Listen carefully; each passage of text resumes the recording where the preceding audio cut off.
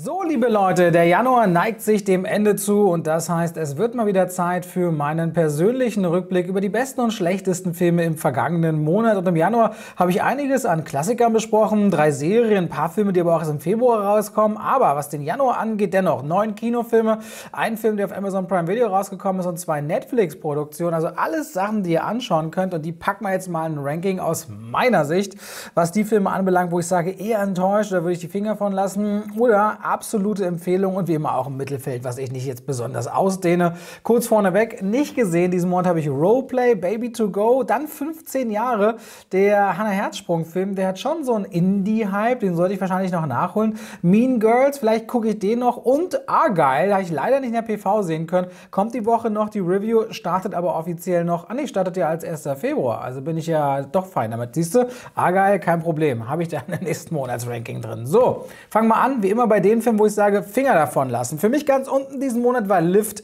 der neue Kevin Hart-Film auf Netflix. Wirklich schwierig mit Kevin Hart, der irgendwie immer die ständig gleiche Rolle spielt. Ich finde ihn in seinen Stand-Up-Shows eigentlich relativ gut und man konnte auch in seiner eigenen Doku-Serie auf Netflix sehen, dass er eher danach giert, Milliardär zu werden und einfach der Erfolg das Wichtigste ist, was aber dafür sorgt, dass schauspielerisch nicht viel drin ist. Das merkt man auch wieder in Lift, wo er der Anführer von einer Gauner-Gruppe ist, in einem F. Gary Gray-Film, der ja unter anderem mit Italian Job schon gezeigt hat, wie man einen Heist-Movie macht. Also Filme, bei denen man Leuten über die Schulter schaut und von einem kleinen NFT-Raub am Anfang wird er gezwungen von der Regierung letztendlich 500 Millionen Dollar Wert in Goldform aus einem Flugzeug zu entwenden und dann wird das so eine sehr zusammengebaute, konstruierte Nummer, die weder cool ist noch charmant ist, wirkt alles so, als wäre es der Schatten vom Schatten von Ocean's 11. Lift war für mich so eine schon anstrengend anzusehen und relativ zähe Geschichte auf Netflix, aber Kevin Hart bringt das immer wieder leider und für mich ganz unten in diesem Monat, gefolgt von The Palace. Dass das ein Roman Polanski-Film ist, der, glaube ich, in Venedig gezeigt wurde, ey, das glaubt man gar nicht. Ich meine, er hat große Filme gemacht in seiner Karriere, ob ein Chinatown, ob ein Pianist und viele andere.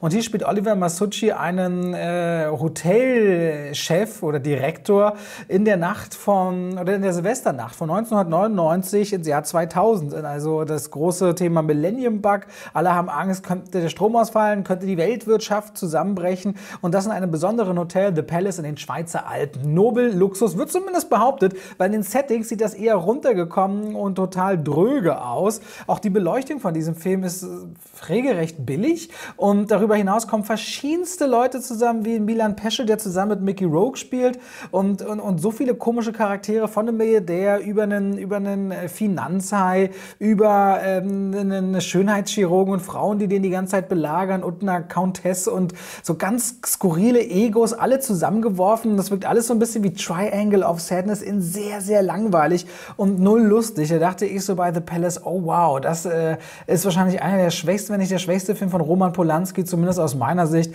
auf Platz 2 von unten gesehen im Januar, was die besten und schlechtesten Filme angeht. Dann kommt der Film, wo mir viele widersprechen werden, weil ey, im Kino scheinen viele Spaß zu haben. In Deutschland geht er gut. Ich rede von The Beekeeper, Jason Statham, ich sehe den gerne. Filme wie Bube, Dame, König, Gras, Snitch, äh, Snitch, Snatch natürlich. Also im Grunde alles, was er mit Guy Ritchie gemacht hat, aber selbst Mac mochte ich ehrlicherweise oder in Expendables 2, der ist einer, der immer wieder mit seiner kantigen und rauen Art, und der Mann ist, glaube ich, mit in seinen 50ern, einfach so wahnsinnig topfit, hier jetzt einen Bienenzüchter gibt, der aber in Wirklichkeit einer Organisation namens der Beekeeper mal angehört hat und außerhalb des Systems das System beschützt und dem es nach Rache dürstet, nachdem eine Frau, bei der er Unterschlupf gefunden hat, abgezockt wird äh, über Cyberkriminalität und er dabei ein ganzes Netzwerk aufdeckt bis hin in die höchsten Kreise.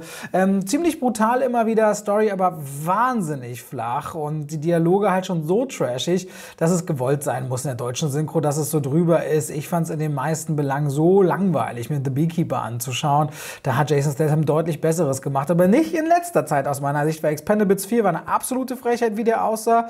Und auch Mac 2, da haben sie ihn völlig von dem beraubt, was ihn im ersten Teil ausgemacht hat. Ich wünsche mir da wieder so ein bisschen mehr Schmackes, nicht nur physischer Art, sondern auch auf seine Art und Weise aller Crank äh, oder Transporter in die Richtung, was dann äh, nochmal eine ganz anderen Vibe mit sich brachte. Auf jeden Fall, The Beekeeper, für mich war es nix. Als nächstes, wo die Lüge hinfällt, läuft ebenfalls ziemlich gut in Deutschland mit äh, Sydney Sweeney in der Hauptrolle, die kennen viele aus Euphoria und Glenn Powell aus Top Gun Maverick. Sie ist Jurastudentin, muss dringend auf Toilette, landet in einem Coffeeshop, wo aber die Schlange sehr lang ist der Kunden und die Verkäuferin ihr sagt, ja, nur als Kundin dürfen Sie auf Toilette. Er steht vorne in der Schlange, sieht sie, gibt sich als ihr Ehemann aus, deswegen kann sie auf Toilette und dann ist ist eigentlich schon die große Romanze geboren.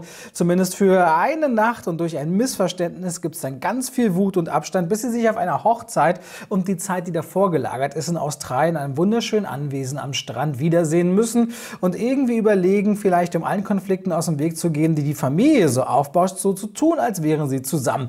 Das ist, wo die Lüge hinfällt. Das ist eine Rom-Com. Rom-Coms können sehr charmant sein. In den letzten Jahren immer wieder auf Netflix gelandet, fast schon überspült damit. Und Ticket ins Paradies, finde ich, hat im, war das vergangenes Jahr gezeigt mit Julia Roberts und George Clooney, was für einen Unterschied das machen kann, wenn die Chemie stimmt und wenn die Erfahrung stimmt und vor der Kamera Leute sind, die da eben auch ähm, ordentlich abliefern. Aber Sydney Sweeney wirkt hier leider sehr begrenzt in dem, was sie darstellt. Die Konflikte, die reingeschrieben werden in ihre Figur, die kriegt Will Gluck als Regisseur nicht rein inszeniert, während Glenn Powell ein bisschen mehr eine, ähm, ein Gefühl hat für ein witziges Momentum, trägt das einfach nicht diesen Film. Vor allem der erste Konflikt, der ist so lazy geschrieben, wenn im Grunde etwas passiert, was man innerhalb von einem einminütigen Gespräch ausräumen könnte und die Charaktere mir auch erzählt werden, als wären sie eigentlich so einfühlsam. Und auch wenn die sich dann necken und streiten, wirkt das die ganze Zeit so, als wären die maximal in der Friendzone, aber richtige Romanze kommt da nicht rein. Und eine Rom-Com ohne einen wirklichen romantischen Faktor, das ist zu wenig aus meiner Sicht. Süß wird der Film dann, wenn ein bisschen gesungen wird. Und das passiert hauptsächlich im Abspann.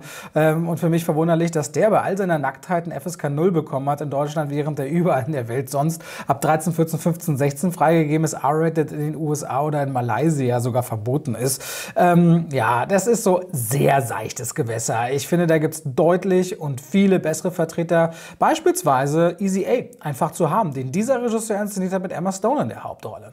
Okay, dann relativ enttäuscht war ich, weil meine Erwartungen dann äh, doch hoch waren von Sofia Coppolas ähm, Priscilla, quasi der andere Blick auf Elvis Presley aus der Sicht von Priscilla Presley mit Katie Speeney und Jacob Elordi in den Hauptrollen. Es ist ihr Weg, es ist ihr Kennenlernen im Leben dieses Schattens, dieses großen Weltstars, toxische Beziehung, wie sie in einem goldenen Käfig im Grunde ähm, benutzt wird, ausgenutzt wird, wartet und leidet. Und ich finde, dieser Film tritt die ganze Zeit auf der Stelle. Nämlich an dieser Stelle, dass sie durch die Gegend guckt und wartet, dass ihre große Liebe zurückkehrt, was sie alles ertragen muss, so richtig durchschlägt, dieser Schmerz dann nicht. Und was sie dann, also am Ende von Priscilla, so heißt der Film, beruht auf ihren Memoiren, weiß ich ehrlicherweise kaum was über Priscilla.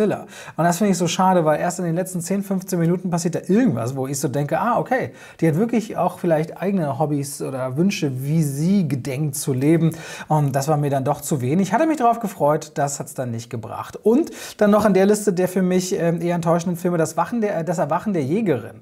Beruht auf dem gleichnamigen Roman. Ich habe mich ehrlicherweise darauf gefreut, auf den Neil Burger-Film, weil ich auch Daisy Ridley gerne sehe, mal wieder vor der Kamera sehe, zusammen mit Ben Mendelssohn, ist das quasi ein Film über eine Hassliebe zwischen Vater und Tochter. Er ist bekannt als der Marsh King. Sie wächst als kleines Mädchen in der Wildnis mit ihm und seiner Mutter auf, bis sich herausstellt, dass die Mutter gezwungen wurde, gefangen wurde, dieses Kind, also sie zu bekommen, die die Daisy Ridley spielt, Helena. Und äh, der Vater landet dafür im Gefängnis, das Mädchen entfremdet sich von der Mutter. Dann haben wir einen Sprung aufs Erwachsensein und diese Frau, die sich irgendwie eine Familie aufgebaut hat, aber die immer von ihrer eigenen Vergangenheit gejagt wird, muss erfahren, dass ihr Vater aus dem Gefängnis ausbricht und sie aufsuchen wird. Und deswegen beschließt sie mit allem, was sie gelernt hat in der Wildnis, sich zur Wehr zu setzen. Und das äh, in, den, in den Sümpfen und der Wildnis irgendwo im Nirgendwo. Eigentlich ein ganz geiles Setting, die Grundidee gar nicht schlecht. Die Chemie zwischen Vater und Tochter überträgt sich nur bedingt. Der Film setzt den Fokus auf dieser Phase zwischen Kind und Erwachsenwerden so gar nicht, macht einen Zeitsprung, sodass überhaupt nicht klar wird, warum entfremdet sich diese Frau äh, von ihrer Mutter. Wie denkt sie eigentlich über ihren Vater? Wie ist die zu ihrer Familie gekommen? Weil dann sehr schnell behauptet wird, dass ähm, sie im Grunde auch lügen würde, damit äh, alles so bleibt, wie es ist in ihrem Scheinleben. Und diese beiden unterschiedlichen Figuren, Kind und Frau, passen einfach nicht zusammen. Die ergeben so keinen richtigen Sinn. Und es wirkt so, als hätte der Film aus dem Buch essentielle Stellen, damit man sich den Figuren nähern kann, entschieden wegzulassen und bei anderen sehr langsam und relativ dröge zu bleiben, weil sehr wenig passiert in diesem Film. Und wenn es dann mal ein bisschen mehr zur Sache geht, wird dieses ganze Thema Wildnis und Sumpf ehrlicherweise auch nicht benutzt, was sehr schade ist. Ich glaube, mit einem anderen Blick wäre da Potenzial gewesen. So war das Erwachen der Jägerin deutlich weniger, als ich mir erhofft habe. So, im Mittelfeld haben wir im Januar aus meiner Sicht gehabt Saints and Sinners, den neuen Film von Liam Neeson, quasi eine Art irischer Western in die 70er Jahre gelegt. Einer seiner besseren Filme, könnt ihr auf Amazon Prime Video schauen.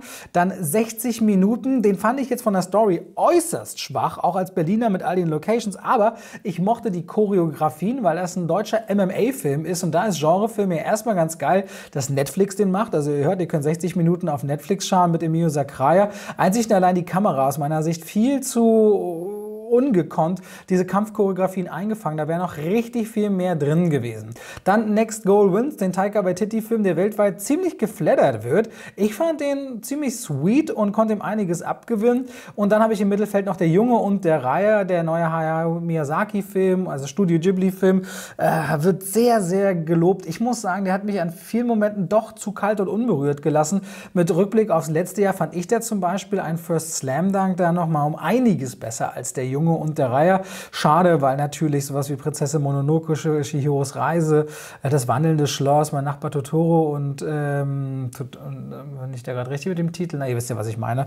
Ähm, der hat große Meisterwerke geschaffen im Anime-Bereich und, und auch für nicht wenige absolute Lieblingsfilme. Und der Junge und der Reihe hat ein paar schöne Bilder, ein paar denkwürdige Momente, aber leider dahinter doch ganz schön viel Interpretationsfläche, zumindest aus meiner Sicht dann auch zu viel. Und dann gibt es zwei Filme, die wirklich Knaller sind. Da muss man traditionell sagen, der Januar ist immer natürlich auch so ein Award-Season-Monat, wo die großen Blockbuster sich nicht wiederfinden. Das geht dann oft dann erst so mit Richtung in diesem Jahr ja mit Februar, mit June 2 und dann Richtung März und Frühjahr dann für gewöhnlich weiter, weswegen jetzt hier, sage ich mal, eher die cineastischen Filme auch dominieren. Für mich auf Platz 2 der Filme des Monats ist ähm, The Holdovers, der neue Alexander Payne-Film mit Paul Giamatti, die Geschichte eines Professors an der Barton Academy in den 70er Jahren oder 1970 zum den den Weihnachtsferien, der quasi äh, ja, fast ein Menschenhasser ist, aber auch nicht gemocht wird von den Menschen und auf die Jungen an dieser Akademie aufpassen soll, die nicht nach Hause dürfen oder nach Hause können während der Ferien. Und das reduziert sich irgendwann auf ein Trio, auf ihn,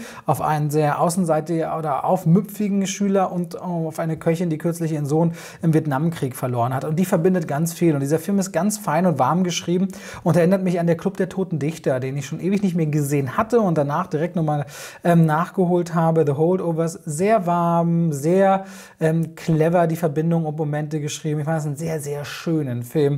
Auf meinem Platz 2 und Platz 1 habe ich ja schon vor Monaten besprochen, weil ich kaum darauf warten konnte, ihn zu sehen. Jorgos Lantimos Poor Things. Also für mich mit Abstand sein bester Film. Ich bin ja mit The Favorite oder äh, Killing of a Sacred Deer nie so richtig warm geworden. The Lobster letztens nachgeholt. Den fand ich schon dann wiederum äh, interessant. Aber Poor Things habe ich geliebt. Emma Stone, Mark Ruffalo, Willem Dafoe. Quasi so eine, ja, Frankensteins Monstergeschichte. Emma Stone spielt hier Bella Baxter, eine, eine, eine, ein, ja, ein Kleinkind im Körper einer erwachsenen Frau, die die Welt und alles ringsherum, wie die Gesellschaft, aber auch die Geflogenheiten erkundet, alles hinterfragt. Und es ist ein Film, der sehr auf eine sehr kreative Art und Weise mit krass guten Settings, tollen Kostümen, eingänglicher, wenn auch besonderer Musik und sehr starken schauspielerischen Leistungen den Weg einer Frau zeichnet, die im Grunde alles hinterfragt, das wo sowohl auf, auf, auf, auf, ähm, auf philosophischer als auch auf rein physischer Art und Weise. Und ich fand ihn wahnsinnig unterhaltsam, richtig toll. Einer dieser Filme, die mir im Grunde so ein bisschen wieder vor Augen geführt haben oder die mir da manchmal zeigen, weil ich im Kino sitze, was für ein Magiekino manchmal sein kann. Sicherlich nicht für jeden was, aber ich habe Poor Things wirklich richtig, richtig gerne gemocht. Mein Platz 1 im Januar und sicherlich auch einer meiner Lieblingsfilme dann äh, gesamt dieses Jahr, die er werden wird. Oder ich habe ihn ja, weil ich ihn schon gesehen hatte, auch letztes Jahr ins Ranking schon mit reingenommen. Auf jeden Fall holt ihn gerne nach. Der hat auch in Deutschland erfreulicherweise einen richtig guten Kopienschnitt. Bedeutet, der ist in sehr wenigen Kinos gestartet, um die 140 am Anfang, aber hatte einen Kopienschnitt von über 500, was ein sehr, sehr starker Wert ist und dementsprechend sind die Leute auf jeden Fall mal interessiert rund um Poor Things. Und damit sind wir durch. Durch mein Ranking bei Filmen, wo ich sage, hm, schwierig, Mittelfeld oder wo ich sage, schaut euch die gerne an. Ich hoffe, da ist was dabei, wo ihr euch darüber freut. Und ich weiß, Meinungen sind oft unterschiedlich und ihr habt sicherlich auch ganz andere Ansichten. Aber solange wir über Filme diskutieren und das meinetwegen erregt, aber respektvoll tun, ist die Sache, glaube ich, ähm, positiv einiges zugute getragen. Okay, das war, glaube ich, kein Satz. Na egal.